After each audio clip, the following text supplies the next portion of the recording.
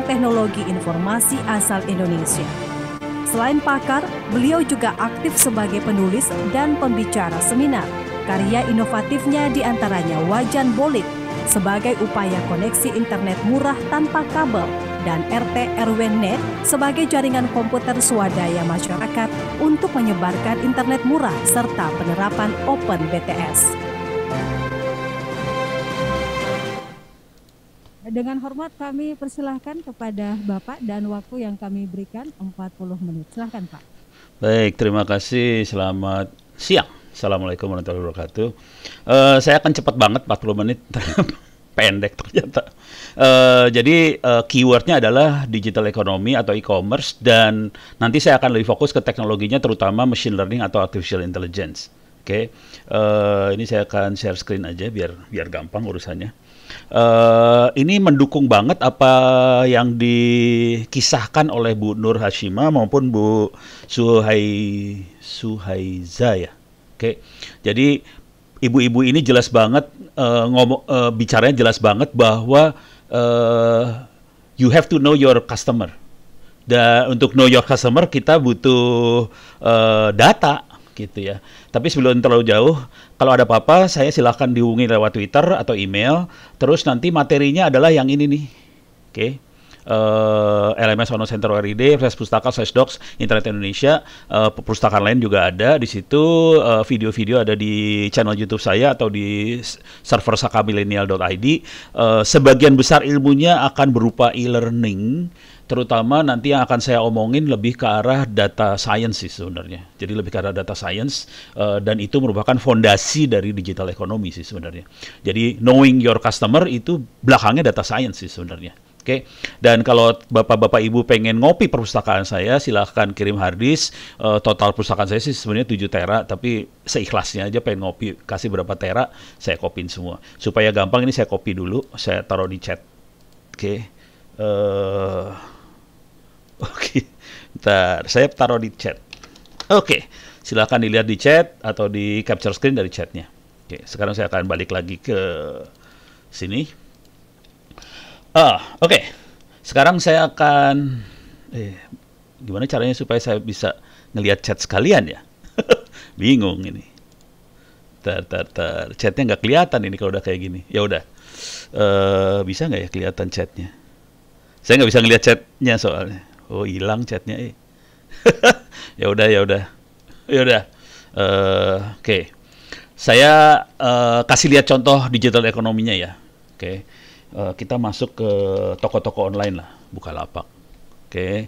kita masuk toko online buka lapak ini ada iklan ya oke okay. perhatiin iklannya turun ke bawah lagi mulai banyak iklan, lagi populer, ada iklan. Terus ada rekomendasi buat kamu, iklan. Oke, di sini juga uh, ada iklan. Oke, uh, perhatikan baik-baik iklannya.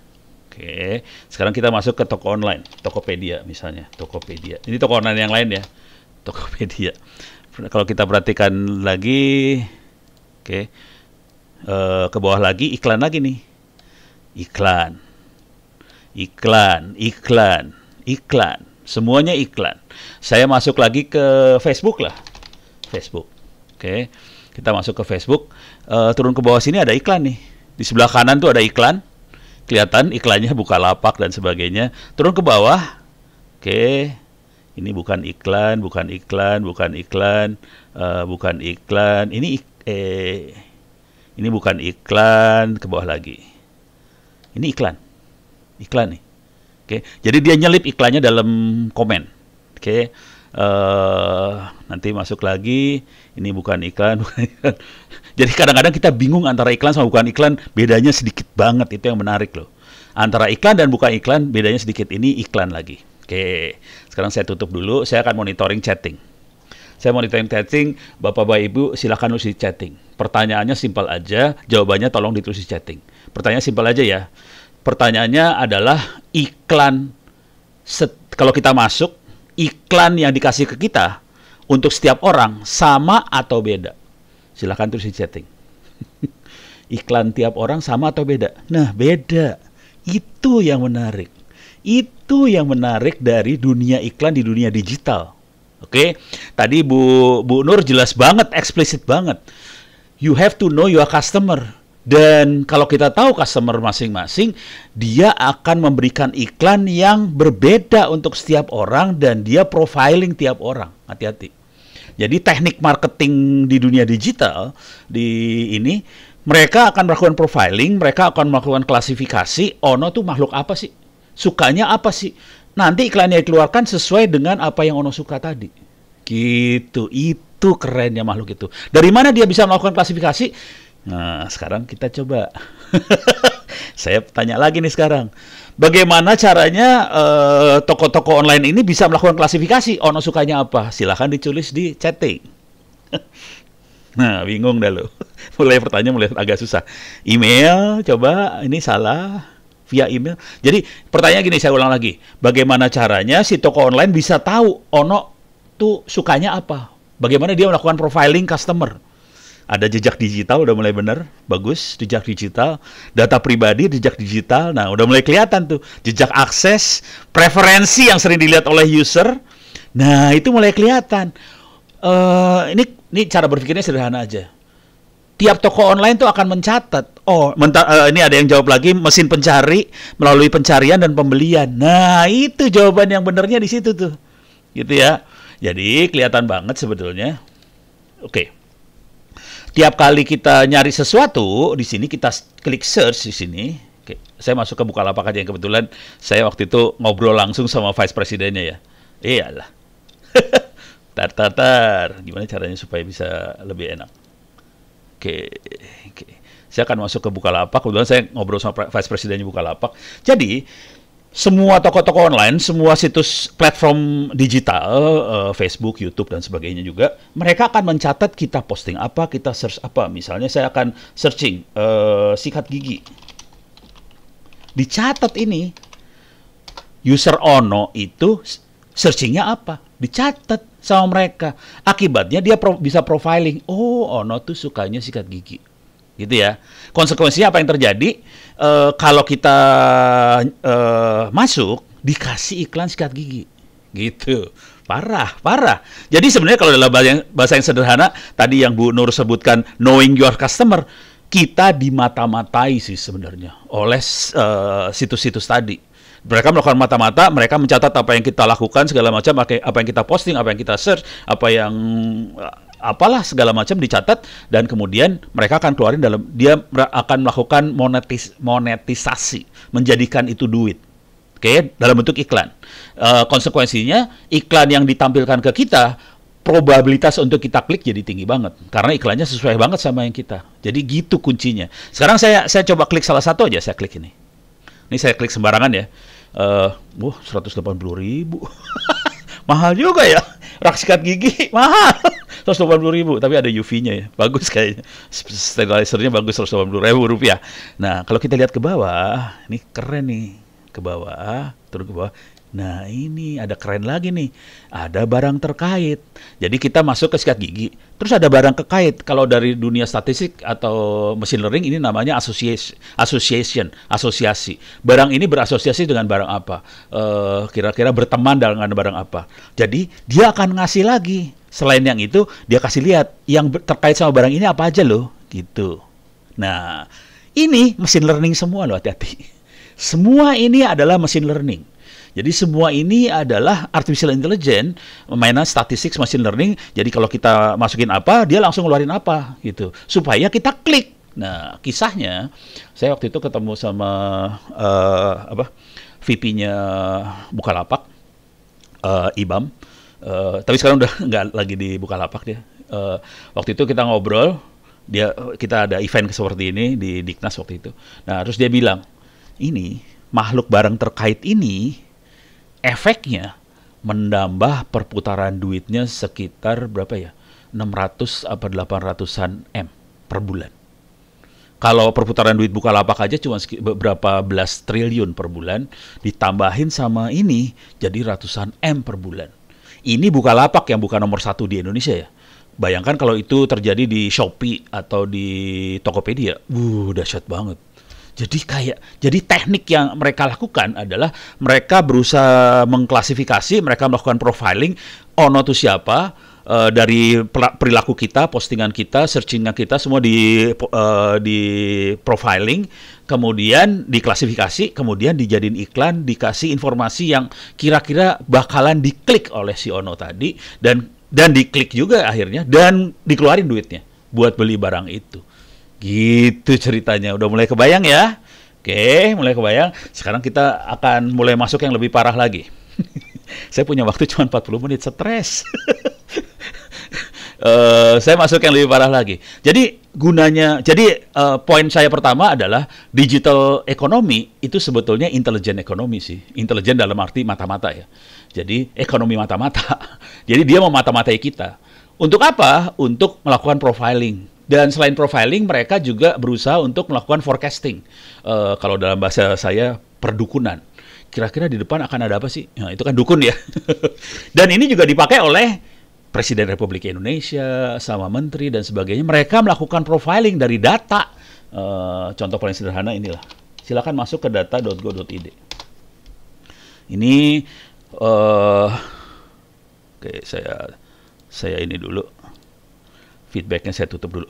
Jadi teman-teman ini tadinya yang megang adalah KSP kantor staf presiden. Sekarang saya baru tahu kemarin kemarin bang. Jadi kemarin kebetulan saya diminta uh, ngasih ceramah soal apa ini uh, data science dan kemudian saya ngasih lihat data data.go.id situsnya mati. Jadi saya posting lah di Twitter. Ini data.go itu emang mati. Jadi waktu itu yang uh, dulunya yang pegang adalah kantor staf presiden KSP. Bayangkan ini dipegang sama kantor levelnya presiden. Kenapa? Karena presiden butuh masukan. Ke depan sebaiknya apa yang dilakukan? Cara dapat masukannya gimana? Semua ke kementerian lembaga, KL-KL segala macam diwajibkan untuk submit data ke data.go.id ini. Nanti dilakukan pakai machine learning, dia melakukan klasifikasi program apa yang cocok untuk bangsa Indonesia, terus juga tren ke depannya seperti apa. Konsekuensi dari itu semua adalah datanya gede banget di sini dan kita sebagai peneliti di perguruan tinggi bisa nyari data di sini. Misalnya, saya akan nyari data ekonomi ya, eh UMKM aja lah, UMKM. Langsung banyak datanya. Gila banyak. Perhatiin datanya.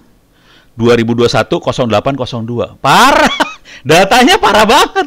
Datanya parah-parah banget. Ini daftar UMKM 2021 dan mereka akan nyimpan juga data-data histori ya. Historinya kita jadi kita bisa ngelihat tren karena data histori ada, data raw ada, segala macam ada. Gawat ini. Enak banget buat buat melakukan penelitian udah enak banget gitu. Beres ya. Jadi ini raw datanya udah disiapin banget. Sekarang ini data.go.id ada di di bawah Bapenas. Jadi uh, enak banget kita buat melakukan penelitian segala macam buat dunia akademik ya. Ini juga bisa berlaku buat ekonomi, marketing dan sebagainya karena kita bisa melihat profiling sebuah daerah. Uh, daerah ini kira-kira uh, tingkat ekonominya seperti apa sih? Uh, produk apa yang kita kira-kira cocok sih? Bisa kelihatan semua sih sebenarnya kalau kita bisa mengekstrak data-data ini. Oke, cuman supaya gampang, saya akan masuk ke yang lebih gampang buat visualisasi tentang makhluk uh, data science dan digital economy ini. Oke, saya masuk ke yang anda semua biasanya pasti make, namanya uh, Google Map. Gampang ya. Uh, saya perlu garis bawahi di sini dulu sebelum terlalu jauh bahwa ilmu data science segala macam itu bisa dipakai di mana aja, bisa dipakai di ekonomi lah, di teknologi lah, di kebijakan publik lah, presiden, menteri dan sebagainya mereka semua butuh data science. Dan ini harganya mahal. Besok tanggal 11 eh, kantor wakil presiden ngundang saya ngomong soal ginian. Jadi pimpinan pun minta ini semua karena mereka pengen tahu ke depan seperti apa. Mereka tidak ada yang mau salah langkah. Jadi kalau mereka melangkah pengennya uh, bisa uh, ad, biasanya pada zaman dulu kan ada dukun yang pakai menyan supaya nggak salah langkah. Sekarang dukunnya pakai data gitu ya. Jadi termasuk besok tanggal 11 kantor uh, staf presiden yang minta saya. Oke. Nah, sekarang saya akan ngasih lihat ini dulu biar uh, kalau Google Map kan visual banget ya. Jadi perlu saya garis bawahi bahwa nanti ilmu ini ada tujuannya ada dua yang besar. Satu adalah klasifikasi atau profiling atau clustering atau kategorisasi. Yang satu lagi adalah forecasting atau prediction atau dukun. Jadi yang satu buat melihat ke depan, satu lagi klasifikasi gitu ya. Sekarang kita lihat. Ini peta uh, Google Map, di sini ada yang namanya uh, sini. Saya cari traffic. Alalala, alalala. Uh, saya bisa peta biasa nggak ya? Petanya peta default. Saya bikin traffic. Nah, ini kelihatan trafficnya. Oke. Okay. Google Map traffic kelihatan. Oke. Okay. Uh, nanti saya akan bikin pertanyaan, silahkan dijawab di chatting. Tapi kira-kira kita semua bisa lihat peta uh, traffic ini di Jakarta, minta maaf lebih gampang soalnya Jakarta banyak jalan macet. Kalau saya pindah ke Kendari, jalan lancar semua, jadi semuanya warna hijau jalannya. Tapi kalau di Jakarta enak karena ada yang merah di sini nih kelihatan merah. Ini adalah uh, tol uh, ring road merah. Ini merah di sini. Uh, di sini ada yang merah juga. Di sini merah. Uh, sebagian besar hijau. Sebagian besar hijau ini Cawang hijau, ke airport hijau, ini airport Cengkareng hijau, semuanya hijau. Tapi ada yang merah gitu ya. Dan jangan khawatir, merah hijaunya bener. Jadi nggak bohong ini, oke? Okay? Merah hijaunya beneran semua, oke? Okay? Uh, eh, dan uh, apa? Uh, ini akan berubah berdasarkan waktu loh, hati-hati. Jadi dia ngikutin bener uh, jalannya macet dari mana segala macam. Pertanyaannya, saya akan ini soft share dulu. Pertanyaannya, silakan tulis di chatting. Oke. Bagaimana Google tahu bahwa jalannya macet? Jadi kalau macet dia klasifikasi kasih merah, kalau lancar hijau. Bagaimana caranya Google tahu itu jalan macet? Tahu dari mana Google? Ayo, silakan tulis di chatting. Iya, yeah, seru nih. Data koneksi melalui jaringan gawai, oh uh, smartphone ya, handphone. Oke, okay. ada yang tahu? Yang lain lagi yang bisa jawab kira-kira? Dua aja dari sambungan data, cerita satelit GPS, oke. Okay. Oke, okay, yang benar adalah dari handphone. Oke, okay. yang benar dari handphone. Jadi, ini saya sharing lagi ya. Jadi yang benar handphone. Jadi proses ini mata-mata juga. Kita berpikir kadang-kadang Google pakai punya satelit buat ngelihat kondisi traffic. Enggak, Google nggak sekaya itu, Google nggak bisa beli satelit. Jadi caranya adalah kalau kita tahu handphone kita itu uh, sistem operasinya kebanyakan adalah Android. Android yang bikin adalah Google. Gitu. Uh, udah gitu apa yang terjadi? Google menyisipkan uh, aplikasi supaya Androidnya lapor ke Google posisinya ada di mana, uh, kecepatannya berapa, lancar apa enggak. Akhirnya Google tahu jalannya macet di mana. Jadi ujungnya sama, mata-mata. Ingat ya, kalau di dunia ini kita nyebutnya bukan mata-mata di dunia ini karena yang lapor ada handphone bukan orang, uh, kita nyebutnya Internet of Things. Jadi bahasanya udah dibedain, Internet of Things. Kenapa? Karena things things tadi, handphone segala macam ngasih laporan ke server gitu. Padahal kalau kita lihat sederhana, ini mata-mata. Sama, konsepnya sama semua, jangan khawatir. Di digital ekonomi semua sama-sama sama semua. Semuanya mata-mata, kemudian kita ekstrak. Uh, kita melakukan pakai machine learning, ini uh, ngapain gitu ya. Nah, sejak kapan Google melakukan uh, penyadapan ini? Saya kasih lihat aja, saya masuk ke timeline. Oke, okay. agak lama. Aduh, lama. Ini kelihatan Google nyadap sejak tahun 2009.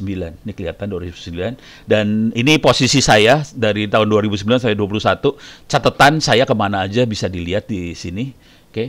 uh, eh, coba saya uh, pindah ke tahun 2019. Oke, okay. bulan Maret misalnya. Uh, tanggal sembarangan aja. Oke, okay. uh, nih. Nah ini kelihatan saya jalan ke mana hari itu. Jadi tanggal 12 bulan Maret 2019 saya jalan ke sini. Dicatat. Setiap perjalanan seseorang dicatat. Gitu ya, jangan khawatir. Jadi parah, di mata-matain parah banget. Semoga kita tidak terlalu sakit hati. Oke, okay. uh, eh, saya kasih lihat sedikit aja kalau gitu. Ini adalah presentasi saya. Ini Anda bisa ambil di sini. Uh, LMS Ono Center ORID saya pustaka. Saya masukin lagi ke Docs ke Internet Indonesia. Ini adalah presentasi saya di BPK, Badan Pengawas Keuangan Republik Indonesia. Saya taruh di chatting ya. Oke, saya. Oke, saya taruh di chattingan. Saya sorry, saya share lagi screen. Uh, jadi ini presentasi saya di BPK Badan Pengawas Keuangan kebetulan BPK pengen ngelihat ke Indonesia ke depannya mau seperti apa sih jadi dia pengen foresight jadi mau lihat ke depan seperti apa nah ini saya kasih lihat ke BPK waktu itu Bentar. Mana dia? Ini dia. Oke.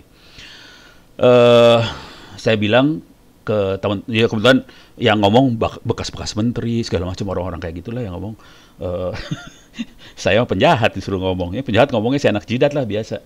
Eh, terus saya bilang, oke, ke depannya apa yang terjadi dari sisi teknologi IT eh, di semua bidang akan kira-kira kayak gini eh, prosesnya.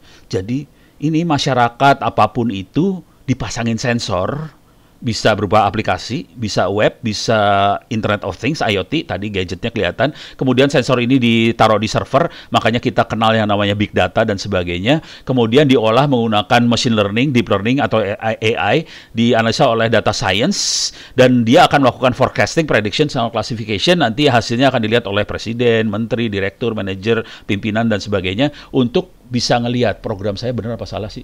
Eh, Kira-kira faktor apa yang paling menentukan untuk perubahan di ka- eh, customer experience, customer journey maupun rakyat. Sebaiknya apa yang kita rubah gitu. Jadi itu semua berdasarkan data semua gitu ya.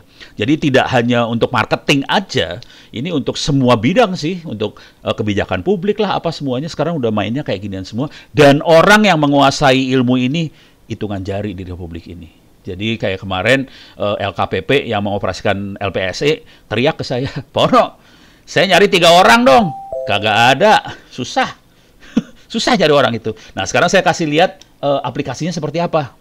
Eh, saya akan bikin cepet aja supaya kebayang aplikasi yang buat belajar yang bukan orang IT eh, bisa pakai ini Orange. Oke, Eh, Orange Data Mining ini, ini adalah aplikasi buat eh, melakukan eh, analisa data, data science, data analitik tadi. Programmingnya kayak gini aja, grafik kayak gini aja programmingnya. Oke, Eh, dan anda bisa download Orange-nya free. Ini bagian download kita. Jadi masukin Orange Data Mining masuk ke download. Sorry ini agak teknis banget. Saya pengen banget ngasih ini supaya seluruh orang Indonesia bisa belajar seperti ini karena ini ilmunya dicari banget dan harganya mahal. Eh, seorang data scientist yang bagus yang bekerja di toko-toko online, eh, di platform-platform online itu gajinya minimalnya sekitar 20-an sih sebulan. Eh, kalau yang eh, topnya bisa sampai 60-an sebulan. Tapi ini aplikasinya bisa di Windows, bisa di macOS, bisa di Linux. Ini saya pakai Linux kebetulan. Saya akan coba jalankan si Orange ini. Sorry nggak agak nggak manusiawi, saya pakai pakai command line kebiasaan aja sih. Sebenarnya bisa tidak harus pakai command line. Jadi bentuk tampilannya kira-kira seperti ini. Eh, buat anda yang pertama kali belajar bisa klik example. Di sini ada banyak example contoh-contoh interactive visualization, inter- eh, data eh, data subset, classification tree, apa segala macam bisa. Ini, ini yang anda lihat di atas ini ini program semua. Bentuk programnya kira-kira bentuknya lingkaran-lingkaran digabung-gabung jadi satu. Kira-kira kayak gitu programnya. Sekarang saya akan melakukan programming yang sederhana aja. Saya akan bikin programming yang termasuk susah kategorinya. Eh, saya akan melakukan klasifikasi dari gambar. Oke, contoh misalnya eh, sebuah lab mau, mengidentifikasi virus COVID, dia akan ngelihat, oh gambar ini gambar virus COVID atau bukan. Oke, dia melakukan klasifikasi, tapi tidak dikasih tahu sama manusia. Jadi biarin komputer yang akan mengklasifikasi ini gambarnya apa, gitu ya.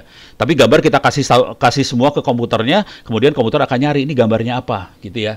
Eh, dengan dengan pola yang sama kita bisa lakukan untuk eh, advertising lah, buat analisa media sosial. Tapi kalau media sosial bentuknya teks. Kalau ini gambar lebih rumit daripada teks. Teks lebih lebih gampang daripada gambar, gitu ya. Nah, ini saya masukin gambar aja biar biar visual, biar gam- eh, gampang banget eh, ngelihat di matanya. Eh, ini menu menunya ada di menu-menunya ada di sebelah kiri, ada yang buat analisa data, ada visualisasi, ada model, ada evaluasi, ada unsupervised learning, ada buat analisa gambar, image analytic. Ini ada yang buat analisa teks sama text mining. Ini biasanya dipakai buat analisa media sosial dan kita bisa ngelihat eh, networks eh, jaringan antar antar kalau teksnya tadi bisa bikin networksnya sebenarnya. Oke, gambarnya kita bisa lihat gambarnya seperti apa di sini. Kita bisa sambungin gambarnya. Ini gambarnya kayak gini doang sih. Ini ada sapi, ada ayam segala macam. Tapi tidak ada informasi. Ini, jadi tugas kita adalah melakukan clustering, klasifikasi. Eh, sapi sama ini satu keluarga. Ini bebek sama bebek satu keluarga. Ayam sama ayam keluarga. Tapi sapi sama ayam tidak satu keluarga. Tapi dari gambar doang. Datanya seperti apa? Datanya gombal banget kalau tahu. Ini saya ambil eh, icon datanya, saya lihat datanya seperti apa. Ini datanya cuma kayak gini aja. Nama, nama binatangnya, nama file gambarnya PNG PNG nama file gambar, besar size-nya, size-nya size gambar ya kilobyte, udah gitu pixel. Tidak ada informasi ini turunannya siapa, ini keluarganya siapa kagak ada. Gitu ya. Nah, sekarang kita perlu ngekstrak fitur dari gambar. Misal sapi kakinya empat, ayam ada sayapnya, e, nanti kucing ada bulunya dan sebagainya. Dia kita harus bisa ngekstrak fitur dari gambarnya. Cara ngekstraknya seperti apa?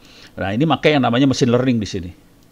E, di sini ada image embedding ini masuk ke Google Inception V3, V3 itu ada di saya akan ngasih lihat Google Inception v, uh, eh, V3 itu adalah uh, neural network uh, yang hidden layernya banyak banget. Jadi ini udah masuk neural network. Kalau dalam bahasa sederhananya ini regresi linear sih sebenarnya. Cuman kalau bahasa orang-orang IT, wah keren lah neural network lah, apa pusing nggak usah ngerti lah. Yang penting sebenarnya ini regresi linear. Jadi dia bisa statistik biasa sih sebenarnya. Oke. Okay. Nah, sekarang saya akan masuk lagi ke sini. Sorry. Oke. Okay. Nah, saya akan sambungkan gambar ini masuk saya kirim ke internet dan dia balikin lagi. Udah, udah balik sekarang. Oke. Okay. Uh, eh, sekarang kita lihat datanya seperti apa sekarang. Saya sambungin. Oke. Okay. Nah, di sini datanya cuma kayak gini aja, tidak ada data apa-apa lagi sesudahnya. Setelah balik dari internet, dia muncul balik baliknya keluar di sini ini yang sebelah kanan ini yang N0, N1 dan sebagainya, ini sampai N1020 eh, 2047, ini adalah fitur hasil ekstraksi neural network tadi. Nah, fungsi kita untuk klasifikasi adalah kalau kita melakukan klasifikasi kan, oh ini ayam kakinya dua, ada sayapnya dua. Oke, itu satu keluarga sama yang kakinya dua, sayapnya dua. Jadi fitur-fitur ini dia cari angka yang dekatnya ini 309 sama 0301 ini deket nih ini kemungkinan satu keluarga. Jadi dia akan ngitung distance jarak ya. caranya ngitung distance cuma kayak gini doang sih. Uh, saya masuk unsupervised learning di sini ada distance Oke. Okay? Nah, setelah dia hitung distance, kita bisa melakukan clustering atau klasifikasi. Jadi proses klasifikasinya kayak gitu sih sebenarnya. Dia ngeliatin fitur uh, si Ono sukanya apa tadi ya dari udah gitu dia melakukan profiling klasifikasi. Oh, Ono Ono uh, hacker, sukanya alat elektronik kayak gitu. Jadi dia clustering. Oke. Okay? Nah, supaya tapi yang di cluster gambar ya, yang ini gambar ya. Supaya enak saya kasih ininya Oke, saya lihat ini gambarnya masih kosong. Nih, Tar, mana tadi gambarnya? Ya. Oke, ini dua. Eh, sorry. Nih. Oke, jadi kelihatan ini hasil clusteringnya dia. Coba kita lihat bener nggak? Coba kita klik yang ini. Rooster sama hen kelihatan deket. Duckling sama chick, anak ayam sama anak bebek dekat warnanya kuning ada ada ininya bawahnya kuning ada paruhnya dekat coba kita lihat ini rabbit sama ini dekat Coba kita lihat yang ini. Wah ini semua dapat salah. Salah. Yang ini uh, good sama kid, kita lihat ini satu keluarga lagi. Ini lihat lagi, satu keluarga lagi. Mirip semua. Coba kita lihat yang ini. Satu keluarga lagi. Gitu. Uh, ini yang ayam-ayaman bebek-bebek kan satu keluarga lagi di sebelah sini. Coba kita lihat di sebelah sini satu keluarga lagi kakinya empat semua. Yang ini ada sayapnya. Dia bisa langsung bikin keluarga-keluarganya tadi. Dan ini teknik ini yang kita pakai buat uh, digital ekonomi itu kayak gini. Cuman yang kita pakai teks. Sekarang kita akan coba main digital ekonomi, tapi saya akan cepat banget. Saya saya punya waktu cuma sekitar berapa menit lagi. Stres. uh, kita akan coba ini digital ekonomi sekarang. Oke. Okay. Uh, eh, saya akan ngambil file. Oke. Okay. Saya akan ambil filenya adalah file Titanic. Oke, ini Titanic filenya. Uh, di sini ada fitur dan ada target. Kalau kita perhatiin ada fitur, ada target. Fiturnya adalah status, age sama sex. Ini status ada crew, first class, second class, third class. Age-nya adalah adult child, seksnya uh, male female. Tapi targetnya adalah yes no. Yes no adalah hidup atau mati. Kita tahu Titanic adalah kapal uh, kapal pesiar Inggris yang nabrak uh, apa es dan akhirnya tenggelam. Kita lihat datanya seperti ini doang. Bisa kita ekstrak apa dari data seperti ini? Gitu ya. Kita akan coba percobaan. Jadi kita punya data seperti itu. Sekarang kita akan melakukan pemodelan pakai tree. Kita bikin tree dan ini bisa buat marketing banget sih. Marketing bisa masuk kayak ginian ya. Contoh marketing tuh kira-kira gini. Tapi ada juga datanya buat marketing. Contohnya pembelian mobil di situ ada sih. Sebenarnya ada data di sini sih. Uh, data set. Oke, okay, data setnya ada kar kalau nggak salah. Tar, tapi tar lah, ini ada car evaluation. Bisa juga dipakai main. Saya pak mainnya main ini dulu lah ya. Ini saya buang dulu datasetnya saya buang. Saya masukin tree dulu. Oke. Okay. Sekarang sih kita akan masuk ke uh, visualisasi lah. Tree viewer. Oke. Okay. Jadi programmingnya cuma kayak gini, data dimasukin ke pemodelan tree, ini sebetulnya regresi uh, regresi uh, regresi buat klasifikasi biasanya pakai logistic regression, tapi ini yang algoritmanya tree untuk data yang kita punya ini. Ini tabelnya tabel Excel biasa sih. Saya kasih lihat aja lah biar kebayang. Tabelnya Excel biasa. It's ah kejauhan ke sini. Ah, oke. Okay. Jadi tabelnya file Excel biasa, cuman kayak gini doang. Survive, uh, lah lah lah lah lah. Jadi cuma survive, status, age, sex. Jadi betulnya file Excel dan ini nggak ada angka loh. Ini semua kata-kata ya. Jadi bukan angka yang ditulis di sini, kata-kata yes, first, adult, male. Jadi cuma kayak gitu loh. Sebenarnya kalau data benernya kan ada nama apa segala macam dibuang supaya privasinya nggak kita ini. Oke, sekarang kita lihat uh, tree viewernya. Oke, ini hasilnya. Bentar, bisa nggak digedein? Saya uh, Oke, kita lihat dua dulu, dua level dua dulu ya. Oke, uh, oke. Kita targetnya adalah yang hidup ya. Yes tuh yang hidup ya. Kita lihat yang hidup. Pengen lihat yang hidup. Dari statistik itu kelihatan bahwa kalau kita lihat dari yang hidup, yang hidup cuma eh, tiga puluh dua persen, yang hidup 32 persen, ada 700 orang yang hidup dari 2000 orang penumpang Titanic, cuma 32 persen yang hidup. Dari 32 persen, 73 persen yang hidup adalah wanita dan laki-laki mati. 20, uh, hanya 20, 21 persen yang hidup. Sisanya mati. Jadi kesimpulan pertama dari data yang ada adalah kalau Anda uh, naik kapal pesiar besar sama kayak Titanic dan kecelakaan di laut, kalau Anda wanita, 73 persen kemungkinan besar Anda akan hidup. Sementara kalau Anda laki-laki, kemungkinan besar Anda akan mati. Gitu kira-kira kesimpulannya. Sedahsyat itu sih kesimpulannya. Coba kita naikin levelnya, tiga level. Ini saya masih yang hidup ya, yang hidup. Kita lihat. Ini nggak bisa digeret, susah digeretnya. Uh, bisa di ini lagi nggak? Watch, saya tambahin, nggak bisa. Oke, tapi kalau kita lihat di sini adalah pertama dia harus perempuan supaya hidup.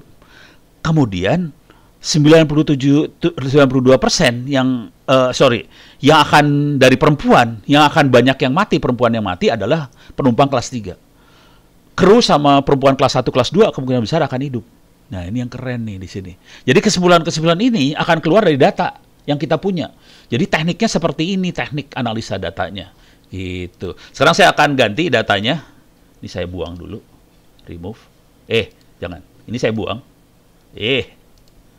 Ini saya buang, remove. Oke. Uh, saya ganti sama dataset. Uh, saya ambil saya akan ambil datasetnya car. Car, car biar kelihatan buat marketing ya.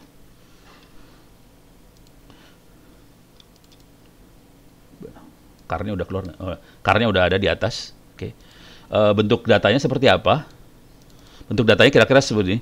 Uh, ACC berarti tidak jadi dibeli, ada ACC yang jadi beli. Uh, buyingnya gimana, harganya mahal atau murah, maintenance-nya gimana, mahal atau uh, jumlah uh, pintu ada berapa, jumlah orang berapa, lakbut, gue saya nggak tahu apaan.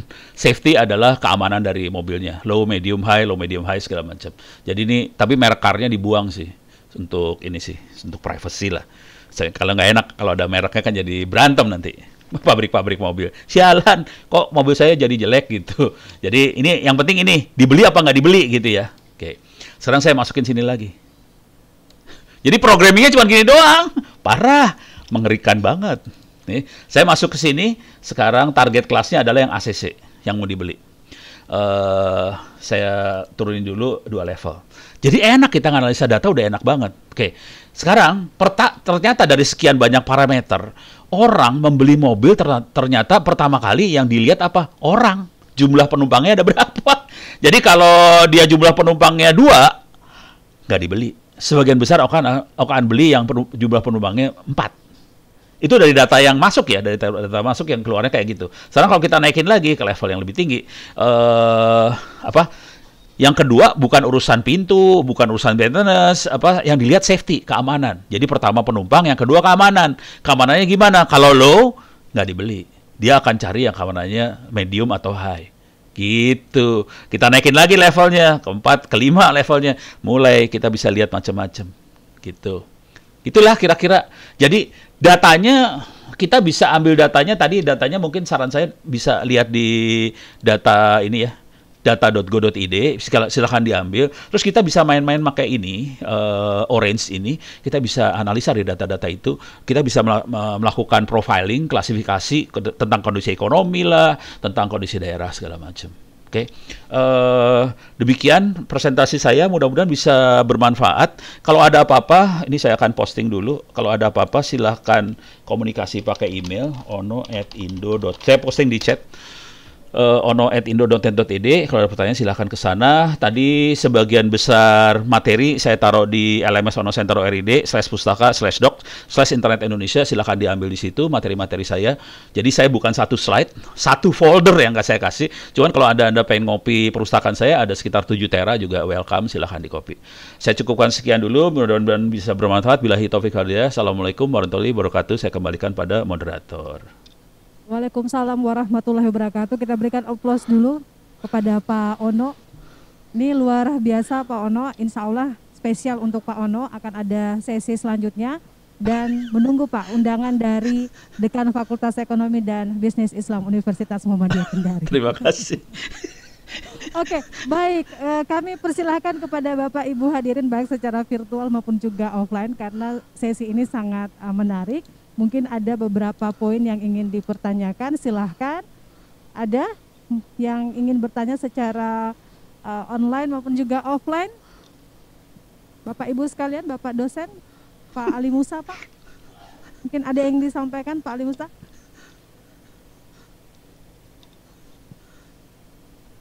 Oh, Pak Pak Pak Bagus. Oke, Pak Bagus ini adalah dosen bisnis digital nih Pak Ono. Walah berat nih urusannya. Assalamualaikum warahmatullahi wabarakatuh. Waalaikumsalam. Uh, perkenalkan Pak, nama saya Muhammad Bagus Satria. Uh, sebelumnya saya ingin menyampaikan bahwa materinya sangat menarik Pak, sangat mudah mudah kita pahami dan cepat kita menyerap Pak. Sangat bagus Pak. Amin. Saya sangat ter tertarik Pak. Kemudian ini Pak, uh, saya ingin ini Pak, uh, misalkan ini Pak kayak kasus apa misalkan sebagai seorang yang betul-betul awam Pak ya. di bidang IT begitu. Ya. Nah, kemudian uh, berniat untuk mengambil jalur karir sebagai seorang data scientist Pak. Apakah ada map atau alur belajar yang lebih efisien dari yang di Oh. Seperti itu Pak. Oke okay, uh, oke okay, Terlebih lagi mahasiswa yang ada di sini Pak. Oke, okay, terima kasih Pak Ali Musa. Ini saya harus buka rahasia dulu, buka rahasia dulu ya. Data science bukan IT loh. Jadi data science itu bukan IT. Data science itu dasarnya statistik. Gitu. Jadi matematik statistik sih sebenarnya. Jadi jujur teman-teman di Bank Indonesia mereka meng-hire orang data science itu kebanyakan dari UGM, statistik UGM kebetulan statistik UGM banyak dikasih muatan tentang uh, advance statistik ya, statistik yang lanjut ya, statistik lanjut. Jadi bagaimana cara melakukan prediksi, cara klasifikasi. Jadi ini ilmu statistik banget. Programmingnya bisa kita tinggal sih sebenarnya. Jadi programming bisa kita tinggalin, kita bisa pakai aplikasi seperti Orange tadi. Jadi nggak perlu takut soal programming. Dan kalau nanti di lapangan beneran di perusahaan biasanya ada orang-orang data engineer tapi tapi orangnya masih jarang sih di Indonesia hari ini. Jadi kalau ada kampus yang ngajarin tentang data engineering dikasih tahu teknik codingnya sih sebenarnya cara programmingnya. Tapi kalau kita sebagai analis kita nggak perlu tahu uh, programming. Kita cukup pakai aplikasi seperti Orange buat itu. Jadi kalau data apa karirnya itu lebih ke arah statistik sih sebenarnya. Dan syukur-syukur Anda beruntung sih sebenarnya Anda ada yang di bidang ekonomi sangat beruntung. Kita-kita yang di bidang teknik tidak terlalu beruntung karena kami tidak kuat di bidang ekonominya. Jadi sense kami buat ngelihat ekonomi agak susah. Sementara Anda kan kuat banget ngelihat ekonominya, tinggal kasih statistik sedikit udah jago banget sih sebenarnya. Jadi Anda beruntung banget. Saya sebenarnya rugi sih sebenarnya kategorinya. Gitu. Mudah-mudahan menjawab.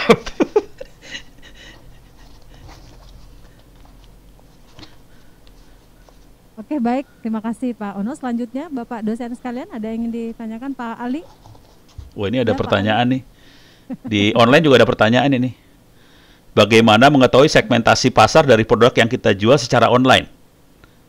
Mau dijawab dulu nggak ini? Jawab aja ya. Uh, silakan, silakan langsung Pak Ono dijawab. Ini dari Pak Asna Asriani, eh perempuan nih kayaknya. Asriani. Ibu Asriani Pak. Presenter. Bagaimana uh, mengetahui segmentasi pasar dari produk yang kita jual secara online. Jadi kalau kalau di toko-toko online kan ada ada data nih, ada datanya uh, barang ini uh, dijual ke mana segala macam. Jadi sebetulnya data-data itu kalau kita agak bandel ya, agak bandel dikit. Kan sebetulnya di toko online kita ada namanya sih, yang beli siapa, alamatnya di mana, eh apa data-data pribadinya keluar sedikit di situ. Kalau kita agak jahil, kita dari data itu kita bisa melakukan uh, penerawangan ke media sosial, ke Google dan sebagainya. Orang ini kerjanya di mana sih? Uh, uh, dia tipe seperti apa sih? Kita bisa ngeraba kira-kira uh, pendapatannya kayak gimana, pasarnya pasar segmen yang mana, apakah dia masih muda atau udah tua, uh, penghasilannya berapa, semuanya kelihatan dari media sosial, dari internet, segala kelihatan. Jadi teknik yang saya pakai kayak gitu. Bagaimana kita melakukan proses itu secara otomatis? Nah itu yang seru kan. Tapi kira-kira logikanya udah kebayang ya uh, di toko online uh, kita bisa grab data-data uh, pembelinya segala macam kan udah ada di situ ya nama, alamat segala macam ada. Dari data itu kita mulai browsing ke media sosial segala macam buat bisa dapat profile dia tuh siapa. Gitu ya. Nah, untuk dapat grab secara otomatis, saya share screen aja. Uh, jadi banyak aplikasi parah. Ini benar-benar teknik mata-mata nih sebenarnya. Parah banget. Jadi banyak aplikasi di internet yang dibuat untuk melakukan hal seperti itu, gitu ya. Uh, saya masuk ke situs namanya GitHub, tapi ini uh, situs ini biasanya tukang coding yang tahu benar-benar. Kalau orang yang bukan coding biasanya tidak akan masuk ke situs ini karena aplikasi yang disediakan di sini bentuknya source code. Jadi kita harus uh, compile, harus segala macam. Tapi kira-kira uh, apa? Uh, bukan filosofi ya. Kira-kira uh, cara berpikirnya adalah kita masuk ke GitHub, terus masukin kata kuncinya scraping scrapping kayak gitulah. Kalau nggak salah P-nya dua. Nah, kelihatan ada ada sekitar hampir 100 ribu aplikasi tentang scrapping. Scrapping fungsinya apa? Kita masukkan keyword, dia akan nyari di internet keyword tadi. Jadi kita bisa scrapping, misalnya yang ngasih nama Ono, dia scrapping di internet Ono tuh apa? Ambil semuanya, dari situ dia melakukan profiling, bisa ngelihat Ono tuh seperti apa. Kira-kira kayak gitu caranya. Jahat sih, asli jahat sebenarnya. Gitu. saya ngomong kayak gini kan. So, ini ngomong terus terang aja, teknik ini dipakai juga sama teman-teman intelijen sih sebenarnya. Parah. gitu. Mudah-mudahan menjawab. Bu moderator silakan. Iya. Ini Pak Ono menarik tadi nih pesertanya pada mengantuk nih Pak. Begitu Pak Ono muncul lah semua pada segar semua nih Pak Ono. Oh gitu. Merasa berdosa saya. Oke, baik uh, Pak Ono karena waktu kita sangat terbatas, ilmunya sangat luar biasa. Oh, masih ada satu boleh. Silakan, Pak.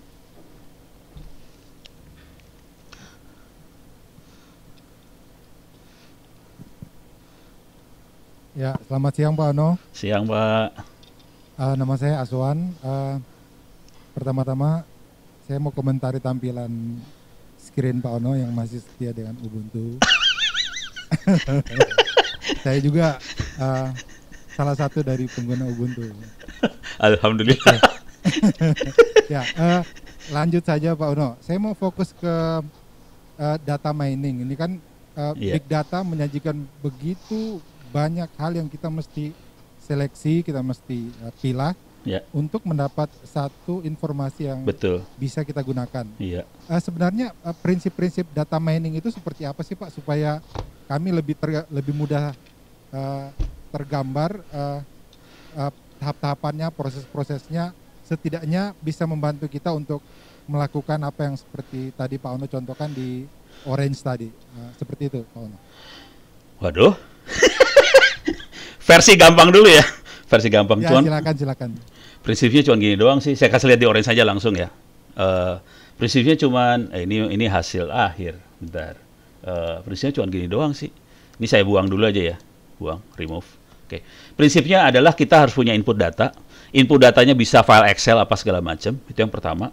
Yang kedua kita punya model eh, bisa regresi paling sederhana regresi linear sih sebenarnya linear re- regression. Tapi kalau dia berupa klasifikasi biasanya kita pakai logistic regression atau bisa juga eh, tree atau random forest. Ini yang buat klasifikasi, yang ini buat prediksi. Yang ini urusannya dukun, ini klasifikasi. Jadi data dimasukin ke sini. Terus eh, yang terakhir eh, adalah eh, visualisasi. Visualisasi. Jadi langkahnya cuma eh oke. Jadi langkahnya eh, nggak bisa disambungin. Tapi kira-kira langkahnya cuma kayak ini doang sih. Cuman ini doang. Saya kasih filoso- eh, filosofi dasarnya ya. Jadi langkahnya cuma ini, tolong diingat baik-baik. Langkahnya cuma seperti ini. Dan saya yakin Anda semua ngerti lah linear regression, ngerti. Nanti eh, logistic regression eh, bisa kebayang lah kira-kira. Saya akan kasih contoh yang paling blow on di dunia. Oke. Eh, saya akan. Ini adalah jadi kalau udah ngelihat algoritmanya segala macam sakit hati sih. Algoritma cuma kayak gini doang. AX plus B sama dengan Y. Algoritmanya cuma ini doang yang dipecahin. Jadi betul-betul eh, regresi linear. Sekarang saya kasih contoh ya prosesnya. Prosesnya kira-kira gini. Misalnya X sama dengan 1, Y sama dengan 7. X sama dengan 2, Y sama dengan 8. Oke. X sama dengan 3, Y sama dengan 9. Oke. Ini namanya data training. Jadi kita kasih data sebelumnya untuk training ke sistem, nanti dia dapetin A dan B. A dan B. Oke, A dan B ini model. Sekarang saya pengen nanya dan silakan dija- eh, saya ulang lagi ya. X1 Y7, X2 Y8, X3 Y9. Oke, ini persamaan linear biasa, tapi nanti kalau kita mainan di data science, X-nya bisa banyak banget, kolomnya bisa banyak. Kalau ini kan cuma satu kolom doang. Y-nya bisa banyak juga sih.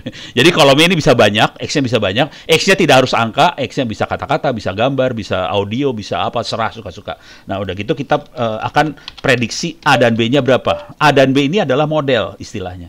Yang ini adalah training, kita punya model. Oke, nah sekarang saya pengen, saya pengen nanya. Ini tolong dilihat A1 eh, 7 sudah. Sekarang saya pertanyaannya silahkan jawab di chatting buat para pemirsa yang ada di online. Tolong dijawab di chatting. A-nya berapa, B-nya berapa? X1 Y7, X2 Y8, X3 Y9. Tolong dijawab A-nya berapa, B-nya berapa. Saya akan eh, stop share screen-nya pengen ngelihat chatting dulu. Ye, belum ada yang jawab. Susah. Gak ada yang bisa jawab ini. Gak bisa jawab. Aduh, susah ya rupanya ya. Oke. ya udah, saya jawab aja dah. A-nya 1, B-nya 6. Jadi ini namanya model. Kalau kita udah dapat model, kita bisa melakukan forecasting dari sini. Kalau saya punya 10, X-nya dia langsung di sininya eh, 16. Oke. Kalau di sininya 20, di sininya 26. Ini forecasting. Tapi nanti kalau di dunia benernya ini bukan angka. Kita pakai teks apa segala macam. Jadi secara algoritma cuma kayak gini doang. Data eh, terus masuk foreca- eh, apa? modeling seperti ini, terus kita bisa visualisasi eh, secara filosofinya cuma kayak gini doang. Gitu, Pak. Mudah-mudahan bisa menjawab, Pak ya. Ya, terima kasih Pak Ono. Sama-sama. ya.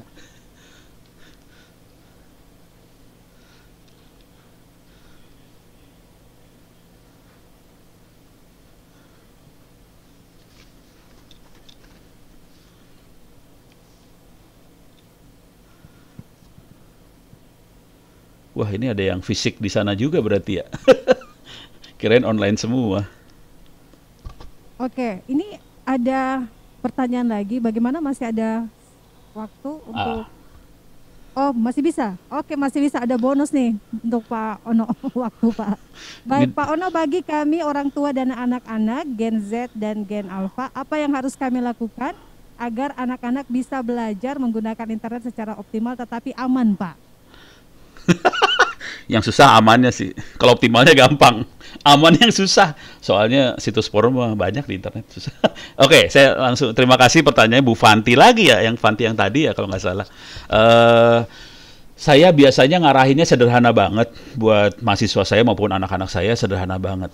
Eh kita kalau bisa hidup jadi produsen. Menghasilkan sesuatu.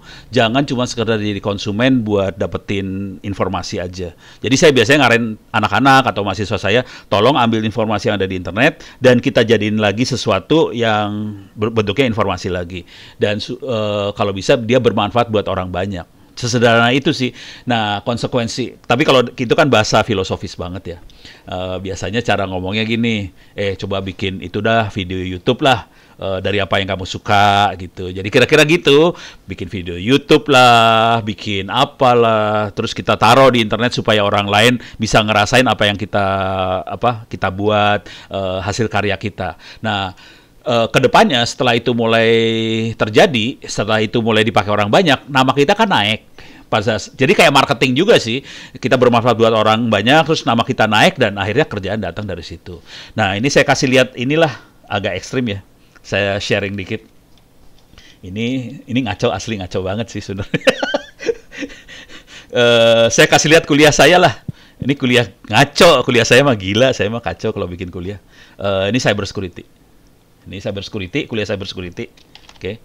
Ini uh, perhatikan baik-baik kalimat pertama di kuliah saya selalu kayak gini, untuk dapat nilai A seperti apa. Jadi langsung kalimat pertama adalah kalau mau dapat nilai A kerjakan ini gitu. Dan ini saya kasih pilihan. Pilihan pertama nulis buku, bukan ujian. Pilihan pertama saya nulis buku. Jadi saya arahkan mahasiswa saya untuk nulis buku. Kalau Anda nulis buku, saya masukin ke penerbit dan semua royaltinya buat Anda. Dan uh, semester kemarin ini ada kebetulan ini kuliah S2 sih. uh, ada 30-an anak yang ngambil kuliah saya, kemudian satu anak bisa nulis buku dan terbit. Gitu. Semester ini loh gitu ya. Ini berhasil satu anak dan dia 200 halaman. 200 halaman kalau kita lihat sebagai kum ini buku referensi. Jadi kumnya 40 gitu ya. Nah, tapi kalau yang nggak sanggup ya saya juga rada ngaco juga sih kalau nggak sanggup. Silahkan ujian. Nah, sekarang saya kasih lihat teknik ujiannya. Ujiannya rada kacau juga di sini. Ini transformasi digital dari dunia pendidikan sih sebenarnya. Bagi Anda yang tidak berani nulis buku, silahkan kerjakan ujian. Satu, kerjakan semua kuis. Jika nilai belum 100, kerjakan lagi sampai nilainya 100. Parah. Akhirnya nilainya 100 semua kuisnya. Kuisnya ada 22 dan nilainya 100 semua. UTS UAS ada 100 soal, lakukan berulang-ulang sampai dosen selesai uh, masukin nilai akhir akhir semester. Jadi UTS dan UASnya tidak dikerjakan pada tanggal jam tertentu. UTS dan UASnya dikerjakan dari awal semester sampai akhir semester dan rata-rata mahasiswa saya mengerjakannya sekitar 10 kali ujian. Tapi ini buat ujian ya. Tapi tadi pertanyaan Ibu Vet itu tadi urusannya jawaban saya lebih ke arah buku sih. Jadi saya mengarahkan mahasiswa-mahasiswa saya di kelas, di kampus dan sebagainya supaya dia jadi produsen. Jangan sekedar jadi klien, jadi konsumen yang nerima nerima ilmu doang. Diarahkan semua jadi produsen supaya menghasilkan sesuatu dan bermanfaat buat orang banyak. Pada saat itu terjadi kerjaan lebih gampang, nama naiknya gampang, uh, kayak marketing lah kayak gitu. Kira-kira itu sih Bu. Uh, tapi urusan satu lagi situs porno susah. Payah. Itu mah udah ahlak. Susah yang itu, Pak. gitu. Mudah-mudahan agak bisa menjawab sedikit. Terima kasih. Baik. Terima kasih kita berikan aplaus dulu kepada Pak Ono. Ya, terima kasih Pak Ono sudah Sama-sama. berbagi informasi. Uh, tunggu undangan kami selanjutnya. terima kasih. Ya, baik Bapak Ibu hadirin sekalian yang kami hormati, terima kasih Anda masih